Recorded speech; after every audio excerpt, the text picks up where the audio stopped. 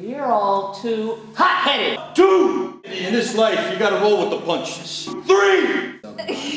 Aren't you Italian? Forget about it! That's right! Enjoy the show! Ha! Snap.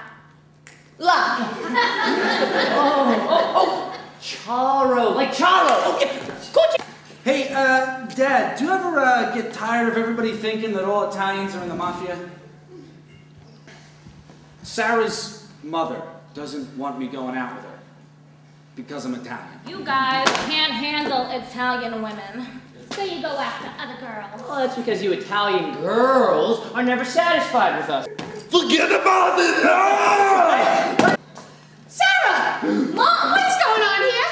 Could you please tell me what Tony Soprano was doing in my house? Vespucci, mommy. Vespucci, not soprano. Dancing, dancing with cars, don't get down, dance in the car. You sit in your car and they play music that you selected, and you dance to the music while you're sitting down like you're driving to see who can look the coolest.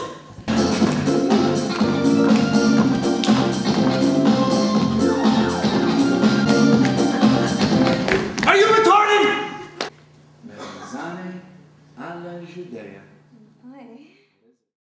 What Italian wouldn't accept a free pizza? I mean, Vespucci? Really? It's one thing. If you're a woman alone on vacation in Rome. Too hot-headed. Too hot-headed. Hold my fur. Hey, whoa. Oh, okay. Yo, yo, yo, baby. Ciao, bella. You want some of this Italian sausage? That's why I love Mario Cuomo and Fiorello LaGuardia. Pops, the word love is nowhere near strong enough. True, true. They're my favorite Italians of all time. That's why your full name is Anthony Mario Fiorello Vespucci. Oh, Florenza. Oh my god. Yes. Oh my god! I did not know you could dance like that! you have to be our choreographer! Swear on your grandmother's Your grave. grandmother's not dead. Doesn't matter.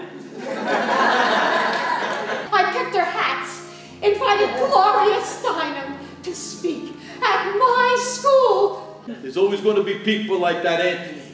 To them, Italians are too, too spicy. We give them indigestion. But you can't let that get you down. Whatever happens, you gotta keep cooking.